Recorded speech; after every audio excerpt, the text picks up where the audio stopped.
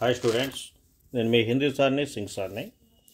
మన ఈ two thousand twenty four twenty five ఈ అకాడమిక్ ఇయర్ కోసంగా పదవ తరగతి చదువుతున్న విద్యార్థుల కోసం మారిన కొత్త సిలబస్ని అనుసరించి హిందీ టెక్స్ట్ బుక్ నుంచి బడే భాయి సాహబ్ మొదటి భాగాన్ని ఆల్రెడీ వీడియో చేసి పెట్టడం జరిగింది. ఈరోజు మీకోసం రెండవ భాగం. చూడండి. సాలానా ఇంతిహాన్ హువా भाई साहब फेल हो गए मैं पास हो गया और दर्जे में प्रथम आया मेरे और उनके बीच में केवल दो साल का अंतर रह गया जी में आया भाई साहब को आड़े हाथों लूँ आपकी वह घोर तपस्या कहाँ गई मुझे देखिए मज़े से खेलता भी रहा और दर्जे में अव्वल भी हूँ ఏమంటారు యాన్యువల్ ఎగ్జామ్స్ వార్షిక పరీక్షలు అయిపోయాయి అన్నయ్య ఫెయిల్ అయిపోయాడు. నేను పాస్ అయ్యాను. పాస్ అవడమే కాదు క్లాసులో ఫస్ట్ కూడా వచ్చాను. ఫస్ట్ క్లాసులో పాస్ అయ్యాను. మా ఇద్దరి మధ్య ఇప్పుడు కేవలం రెండు తరగతులు మాత్రమే తేడా ఉంది. అప్పుడు నాకు అనిపించింది మా అన్నయ్యని బాగా అడిగేద్దాం. మీ యొక్క ఘోర తపస్సు ఎక్కడికి పోయింది? నన్ను చూడండి ఆనందంగా ఆడుకుంటూ ఉన్నాను. ఇంకా క్లాసిక్ కూడా ఫస్ట్ వచ్చాను అని అంటున్నాడు. నెక్స్ట్.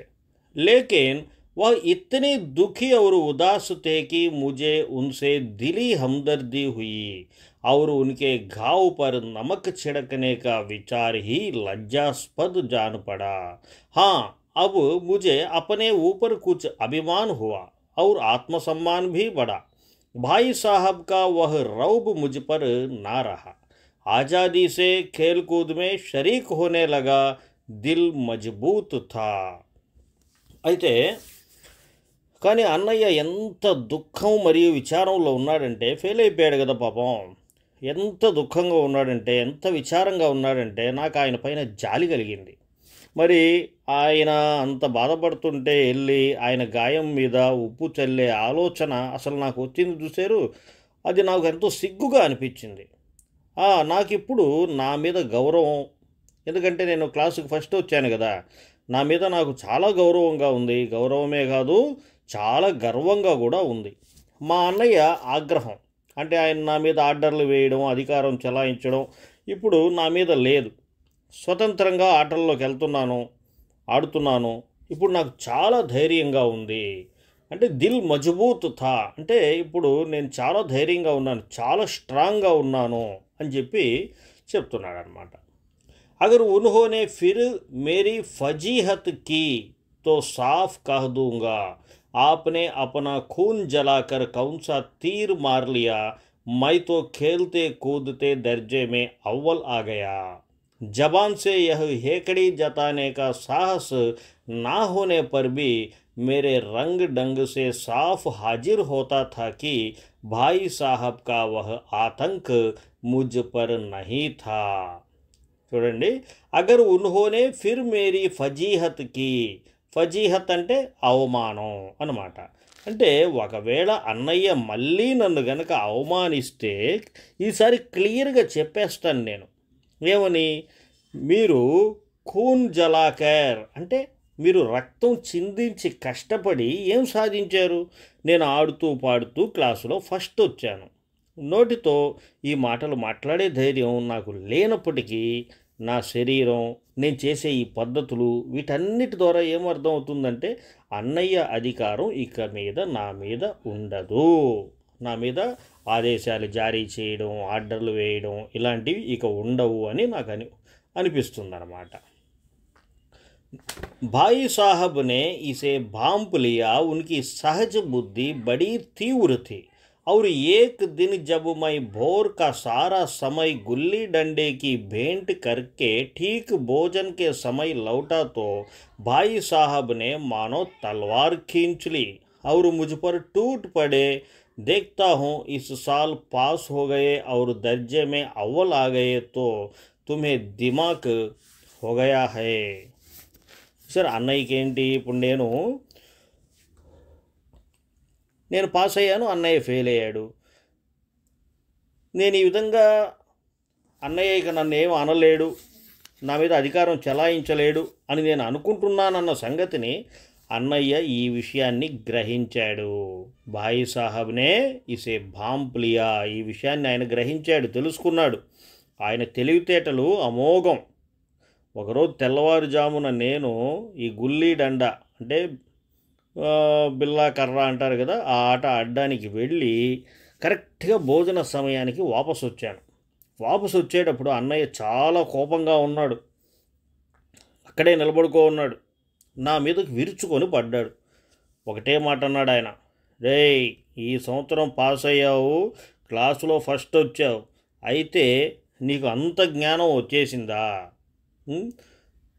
అన్నట్టు నా మీదకి కోప్పడ్డాడు అనమాట मगर भाईजान घमंड तो बड़े बड़े का नहीं रहा। तुम्हारी क्या हस्ती है? इतिहास में रावण का हाल तो पड़ा ही होगा। उसके चरित्र से तुमने कौन सा उपदेश लिया? या यूँ ही पड़ गए? महज इम्तिहान पास कर लेना कोई चीज़ नहीं। असल चीज़ है बुद्धि का विकास। जो कुछ पढ़ो, उसका अभिप्राय समझो। అన్నయ్య ఏమంటున్నాడంటే తమ్ముడితో క్లాసులో ఫస్ట్ వచ్చేటప్పటికి నీకు అంత జ్ఞానం పెరిగిపోయిందా? నీకు అంత నాలెడ్జ్ వచ్చేసిందా? తమ్ముడు అహంకారం అనేది పెద్ద పెద్ద వాళ్ళనే వదలలేదు. నువ్వెంత తుమారి క్యా హస్తి హై? నువ్వెంత చరిత్రలో రావణాసురుడి గురించి చరిత్ర వినేటప్పుడు ఆయన వ్యక్తిత్వం నుండి నువ్వు ఏం సా ఏ సందేశం పొందావు? నీకు ఒక విషయం కావాల్సింది ఏందిరా అంటే ఇక్కడ జ్ఞానం అభివృద్ధి చదవడం ఏం చదివినా ఏం చదివినా దాన్ని అర్థం చేసుకో అంతేగాని ఈ విధంగా మనం అహంకారంతో ఉండకూడదు అని చెప్పి చెప్తున్నాడు అయితే रावण भूमंडल का स्वामी था ऐसे राजाओं को चक्रवर्ती कहते हैं आजकल अंग्रेजों के राज्य का विस्तार बहुत बड़ा हुआ है मर, इन्हें चक्रवर्ती नहीं कह सकते। संसार में अनेक राष्ट्र अंग्रेज़ों का आधिपत्य स्वीकार नहीं करते।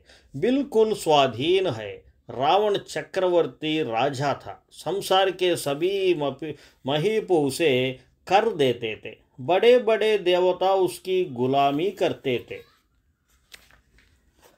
आग और पानी के देवता भी उसके दास थे। मगर उसका अंत क्या हुआ?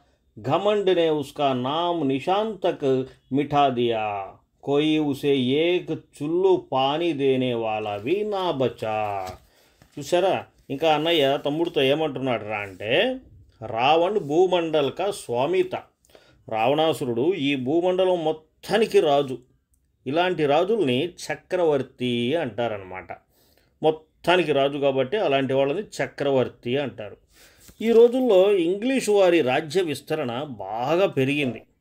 ప్రపంచంలో చాలా దేశాలు ఇంగ్లీషు వారి ఆధిపత్యాన్ని ఒప్పుకోవడం లేదు. కానీ వాళ్ళు స్వాధీనం చేసుకుంటూ ఉన్నారు. అయితే రావణాసురుడు ఒక చక్రవర్తి. ప్రపంచంలో అందరూ రాజులు ఆయనకి ఆయన స్వాధీనంలో ఉన్నారు కాబట్టి ప్రపంచంలో ఉన్న అందరు రాజులు కూడా రావణాసురుడికి పన్ను చెల్లించేవాళ్ళు అనమాట పెద్ద పెద్ద దేవతలు ఆయనకి బానిసలుగా ఉండి సేవ చేసేవారు. ఇంకా అగ్నిదేవుడు వరుణదేవుడు అని ఇలా దేవుళ్ళు అంటాం కదా ఈ అగ్నిదేవుడు వరుణదేవుడు కూడా ఆయనకు బానిసలే అనమాట రావణాసురుడికి. కానీ చివరికి ఏమైంది? రావణాసురుడికి ఉన్న అహంకారం అతన్ని నాశనం చేసేసింది.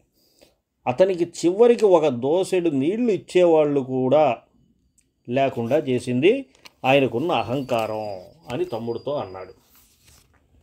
ఆద్మీ और जो कुकर्म चाहे करे पर अभिमान ना करे इतराए नहीं అభిమాన్ కియా ఔర్ దీన్ దునియా దోనో సే గయా ఈ మాట అంటున్నాడు అనమాట మనిషి ఎవరైతే చెడు పనులు చేస్తాడో కుకర్మ అంటే చెడు పనులు చెడు పనులు చేస్తాడో అహంకారం కలిగి ఉంటాడో అతడు ఈ జనాలకి ప్రపంచానికి దూరం అయిపోతాడు అని చెప్పి అన్నయ్య ఇక్కడ చెప్పడం జరుగుతుందన్నమాట नेक्स्ट पैराग्राफ చూడండి నాన్న शैतान का हाल भी पड़ा ही होगा उसे यह अभिमान हुआ था कि ईश्वर का उससे बढ़कर सच्चा भक्त कोई है ही नहीं अंत में यह हुआ कि स्वर्ग से नरक में ढकेल दिया गया ఎవరు సైతాన్ సైతాను గతి గురించి కూడా నువ్వు చదివే ఉంటావు తమ్ముడు అతనికి ఎంత అహంకారం అంటే దేవుడికి తనకన్నా గొప్ప భక్తుడు ఇంకొకడు లేడని చెప్పి అంత అహంకారం ఉండేది నేనే నిజమైన భక్తుడిని నన్ను మించిన భక్తుడు ఇంకెవడు లేడు అని చెప్పి సైతానికి అంత అహంకారం ఉండేది చివరికి అతని అహంకారం వల్ల ఏం జరిగింది? అతని స్వర్గం నుండి నరకానికి నెట్టేశారన్నమాట.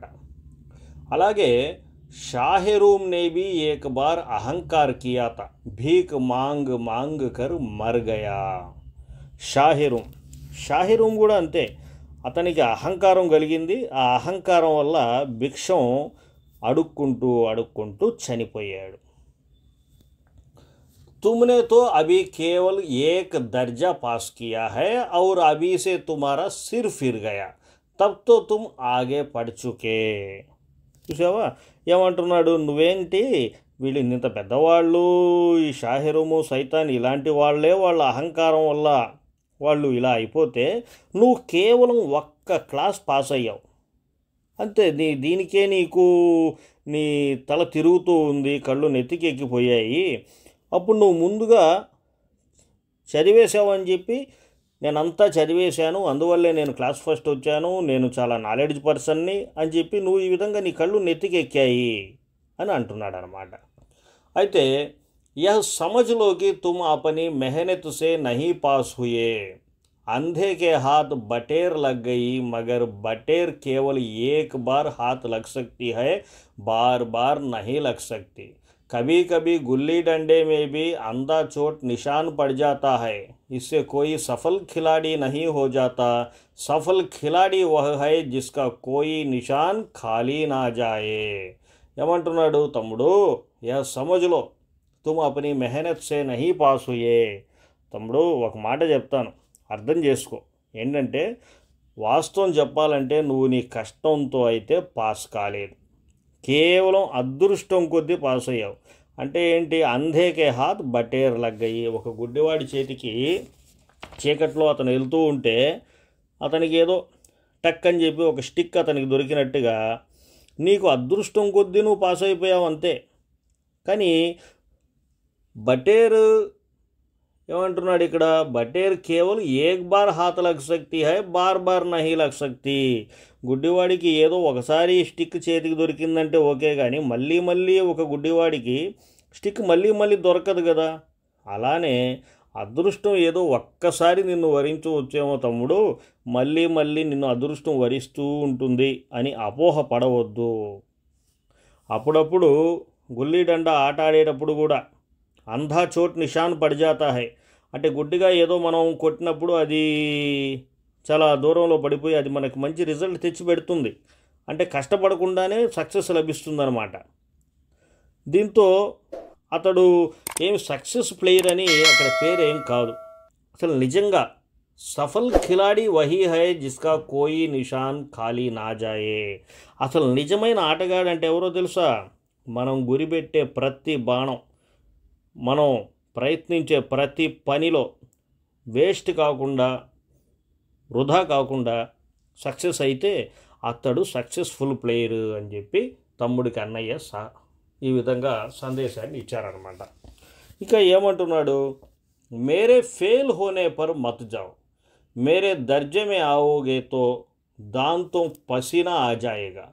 జబ్ ఆల్జిబ్రా और జామెట్రీకే చనే చబానే పడెంగే और इंग्लिस्तान का इतिहास పడనా పడేగా ఏమంట తమ్ముడు నేను ఫెయిల్ అయ్యాను నేను ఫెయిల్ అయ్యాను అనేది పక్కన పెట్టేసి అది పెద్ద టాపిక్ ఏం కాదు నాది చాలా పెద్ద క్లాసు నువ్వు నా క్లాసుకి కనుక వచ్చావంటే నువ్వు నా క్లాసుకి కనుక వచ్చావంటే అప్పుడు దాంతో పసీనా ఆజాయిగా అంటే అంటే ఏంది అంత హార్డ్ వర్క్ చేయాల్సి వస్తుంది అసలు నా క్లాసులో ఆల్జిబ్రా ఉంది జామెంట్రీ ఉంది. ఎట్టుంటాయిరా అంటే దాంట్లో ప్రాబ్లమ్స్ కానీ ఇవన్నీ ఇనప గుగ్గుళ్ళని నమిలితే ఎట్టుంటుందో అలా ఉంటాయి. అంత కష్టంగా ఉంటుంది. ఇక హిస్టరీ. హిస్టరీ ఉంటుంది. ఇంగ్లీష్ స్థాని అంటే హిస్టరీ. హిస్టరీ ఉంటుంది. ఎంతోమంది రాజుల పేర్లు గుర్తుపెట్టుకోవాలి. అంత ఈజీ ఏం కాదది? అని చెప్పి చెప్తున్నాడనమాట बादशाहों के नाम याद रखना आसान नहीं आठ आठ हेनरी हो गुजरे हैं कौन सा कांड किस हेनरी के समय में हुआ क्या यह याद कर लेना आसान समझते हो हेनरी सातवें की जगह हेनरी आठवां लिखा और सब नंबर गायब చూసారా ఇప్పుడు పెద్ద పెద్ద రా చరిత్రలో ఎంతోమంది పెద్ద పెద్ద రాజుల పేర్లు ఉంటాయి ఆ పేర్లన్నీ గుర్తుపెట్టుకోవడం అంత ఈజీ ఏం కాదు ఎనిమిది మంది హెన్రీలు ఉన్నారు హిస్టరీలో ఏది ఏ హెన్రీ కాలంలో జరిగిందో గుర్తుపెట్టుకోవడం కష్టం హెన్రీ సెవెన్ స్థానంలో హెన్రీ ఎయిట్ అని రాసామనుకోండి ఇంకా అంతే మార్కులన్నీ మాయం మార్కులే రావు కాబట్టి सफ़ाचट सिफर भी ना मिलेगा सिफर भी हो किस ख्याल में दर्जनों तो जेम्स हुए दर्जनों विलियम्स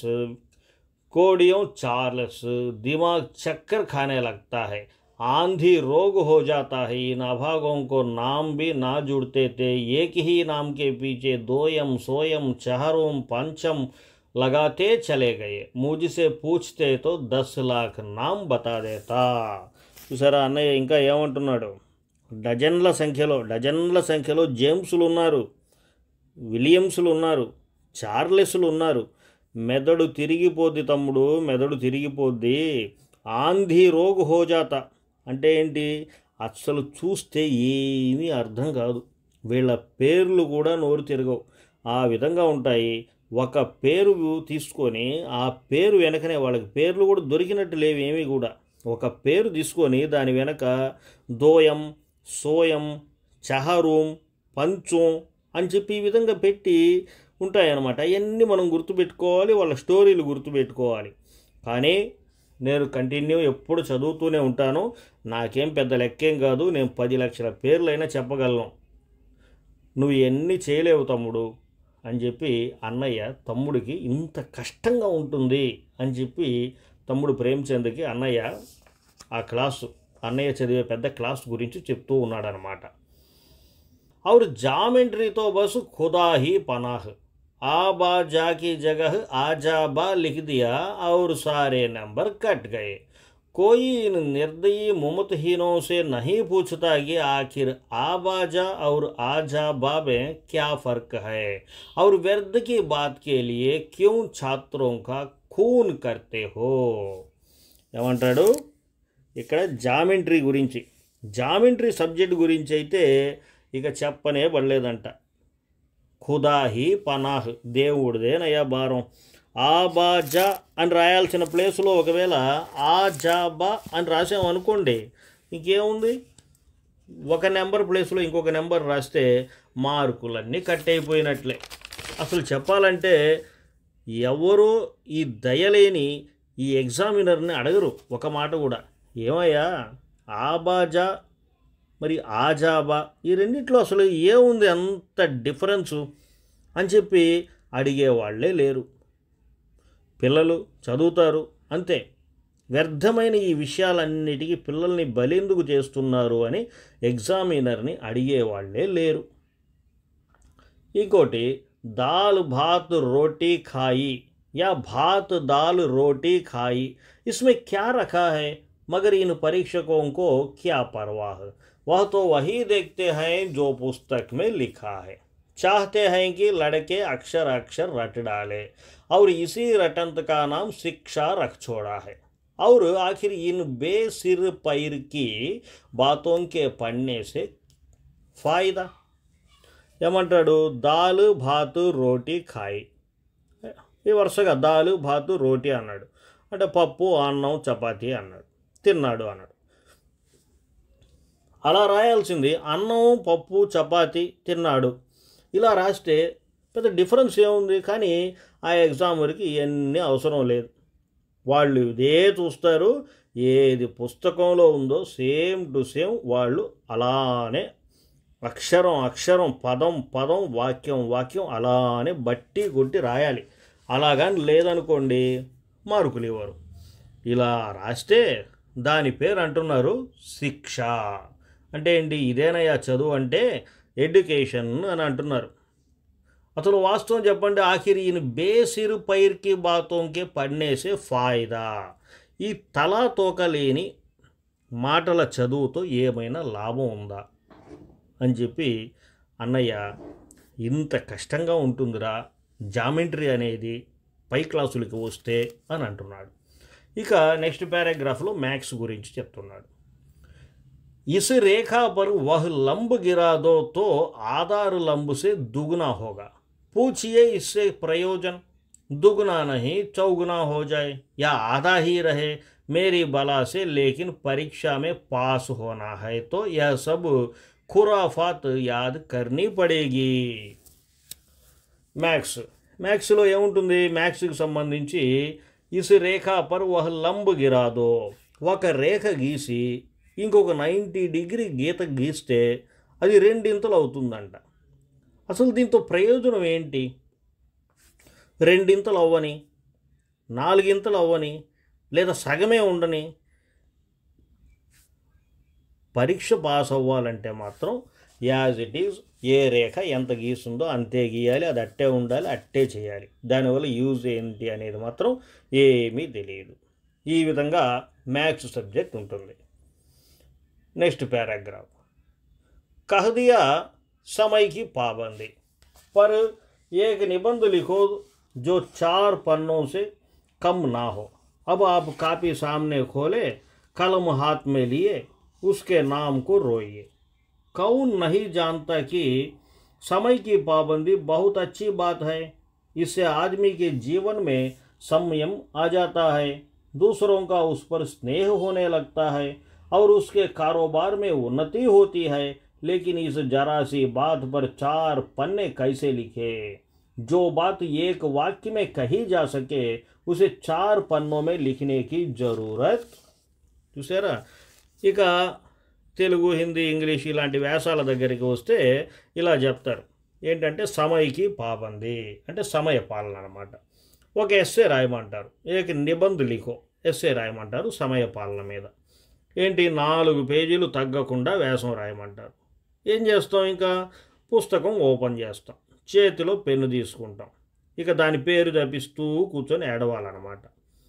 సో వాస్తవం చెప్పండి అసలు ఎవరికి తెలియదు అసలు ఎవరికి తెలియదు ప్రతి మనిషి జీవితంలో ఈ విషయం సమయపాలన అనేది చాలా మంచి మాటని.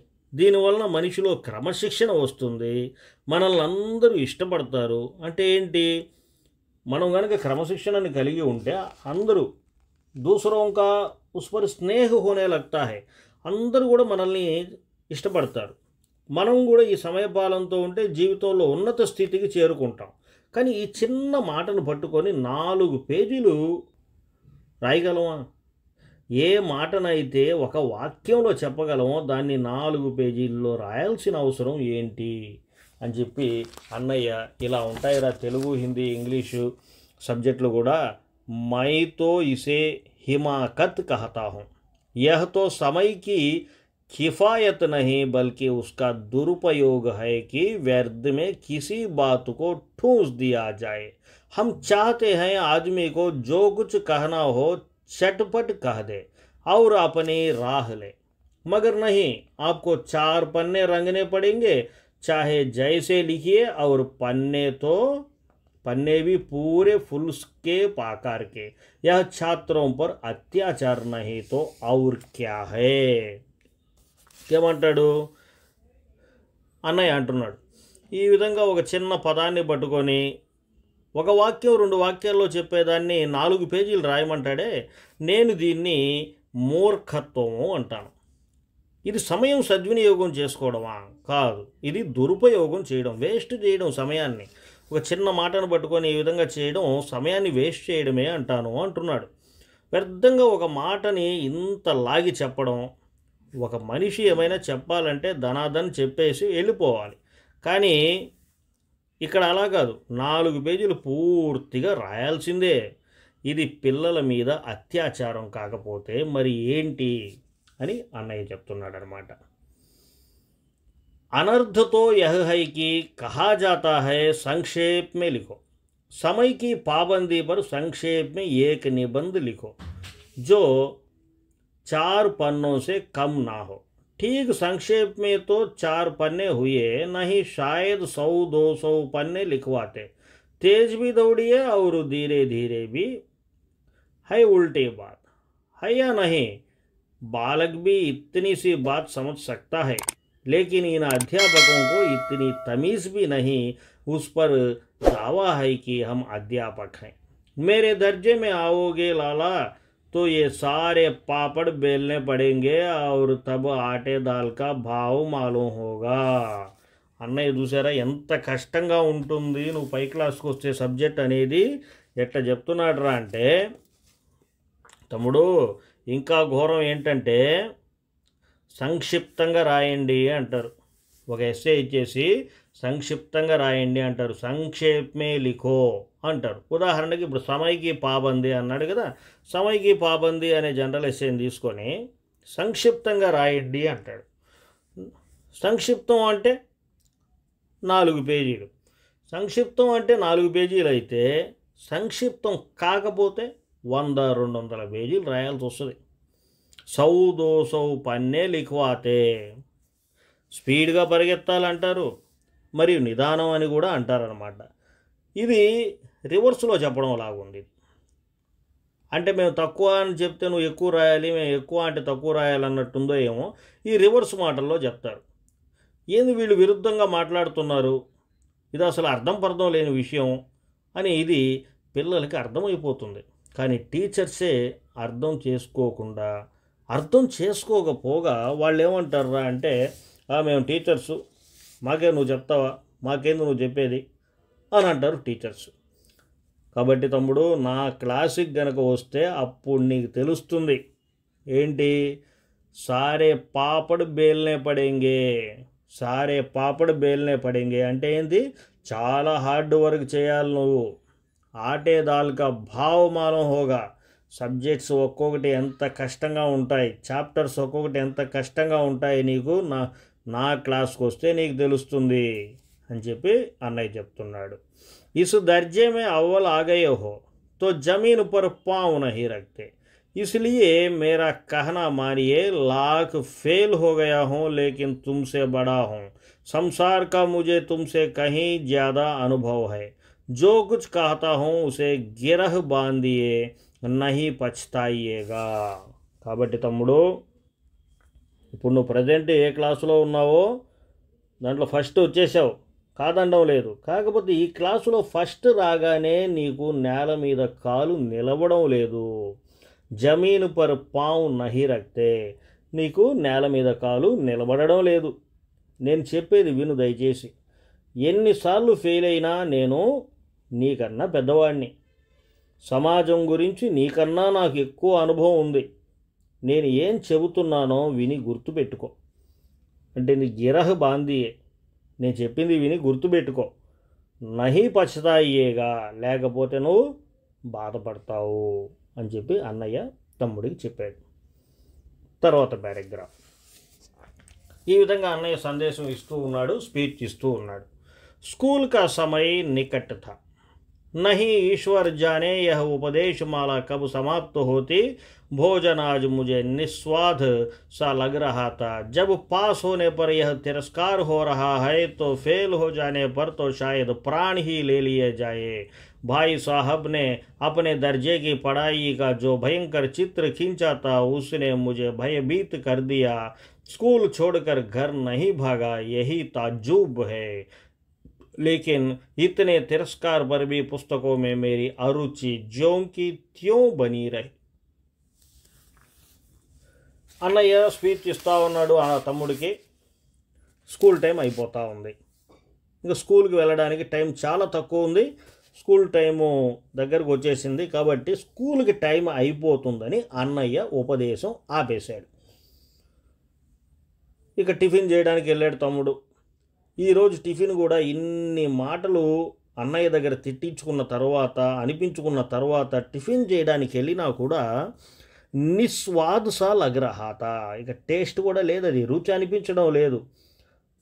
పాస్ అయితేనే అన్నయ్య ఇంతలా మాట్లాడాడంటే ఫెయిల్ అయితే అసలు ప్రాణాలతో తీసేస్తాడేమో. అన్నయ్య తన తొమ్మిదవ తరగతి గురించి ఎంత భయంకరంగా చెప్పాడంటే ఎంత భయంకరంగా ఆ రేఖా చిత్రాన్ని వేసి చూపించాడంటే వాస్తవంగా నేను భయపడిపోయాను. అసలు స్కూలు వదిలి నేను పారిపోలేదు అదే నాకు ఆశ్చర్యంగా ఉంది. కానీ అన్నయ్య అన్ని మాటలు చెప్పాక కూడా నాకు పుస్తకాల మీద ఆసక్తి ఇంతకు ముందులాగానే ఉంది. ఒరే అన్నయ్య ఇంత ఇదిగా చెప్పాడే ఇంక నుంచి ఇంట్రెస్ట్ రావాలి కదా కానీ నాకు రాలేదు పెరగలేదు. ఇంతకుముందు ఎలా అయితే పుస్తకాలంటే పెద్దగా ఇంట్రెస్ట్ లేదో అలాగే ఉందన్నమాట. खेल कूद का कोई अवसर हाथ से ना जाने देता। पढ़ता भी मगर बहुत कम। बस इतना कि रोज टास्क पूरा हो जाए और दर्जे में जलील ना होना पड़े। अपने ऊपर जो विश्वास पैदा हुआ था, वह फिर लुप्त हो गया और फिर चारों, चोरों का सा जीवन कटने लगा। ప్రేమ్చంద్ ఏమంటున్నాడంటే ఇంత స్పీచ్ అన్నయ్య దగ్గర విన్న తర్వాత ఈ పారాగ్రాఫ్లో మొత్తం కూడా ప్రేమ్చంద్ మాట్లాడుతూ ఉన్నాడు. ఆటల విషయం అయితే చదువు విషయంలో ఏది పడితే అది చదివేవాడు కాదు. కానీ ఆటల విషయంలో అయితే ఏ అవకాశం ఆడుకునేది వచ్చినా దాన్ని మాత్రం వదిలేవాడు కాదు. ఖేల్ కూదుగా కోయి బి హాస్తే నా జానేదేత. ఏ అవకాశాన్ని వదిలేవాడు కాదు. అట్టని చెప్పి చదువు మానేసాడని కాదు చదివేవాడు. చదివినా చాలా తక్కువగా చదివేవాడు. ఆ రోజు హోంవర్క్ ఏమైతే ఉందో దాన్ని మాత్రం పూర్తి చేసేసేవాడు. ఎందుకంటే పక్క రోజు మళ్ళీ క్లాసులో అందరి ముందు షేమ్ అవ్వ అవ్వాల్సి వస్తుంది కదా అలా అవ్వకుండా ఉండేదానికి హోంవర్క్ వరకు కంప్లీట్ చేసేసేవాడు. అయితే ఎప్పుడైతే క్లాసులో ఫస్ట్ వచ్చానో పాస్ అయినప్పుడు నాలో చాలా ఆత్మవిశ్వాసం పెరిగింది. ఇక నన్ను అన్నయ్య కూడా ఏమీ అనలేడు అని నేను అనుకున్నాను. కానీ అన్నయ్య అంత ఇదిగా స్పీచ్ ఇచ్చి తిట్టిన తర్వాత మళ్ళీ అంతా నీరు గారిపోయింది. ఇప్పుడు మళ్ళీ నేను దొంగలాగా ఆడుకోవడానికి అన్నయ్యకి తెలియకుండా కనబడకుండా దాంకొని దాంకొని దొంగతనంగా వెళ్ళి ఆడుకునే పరిస్థితి మళ్ళీ నాకు వచ్చింది అని చెప్పి ఈ సెకండ్ పార్ట్లో ప్రేమ్చంద్ గారు చెప్పడం జరుగుతుంది నాన్న. ఇలాగే ప్రే ఈ బడే భాయి సాహబ్ థర్డ్ పార్ట్ని నెక్స్ట్ వీడియోలో చేసి మళ్ళీ పెట్టడం జరుగుతుంది. ఇలాగే టెన్త్ క్లాసుకి సంబంధించి నైన్త్ క్లాసుకి సంబంధించి ఇంకా మంచి మంచి వీడియోలు గ్రామర్కి సంబంధించిన వీడియోలు ఇవన్నీ కూడా మీకోసం తెలుగులో ఎక్స్ప్లెయిన్ చేస్తూ పెట్టడం జరుగుతుంది. మన ఛానల్ పేరు పీడిఎన్ఎస్ హిందీ. సబ్స్క్రైబ్ చేయండి లైక్ చేయండి షేర్ చేయండి. నేను మీ హిందీ సార్ని సింగ్ సార్.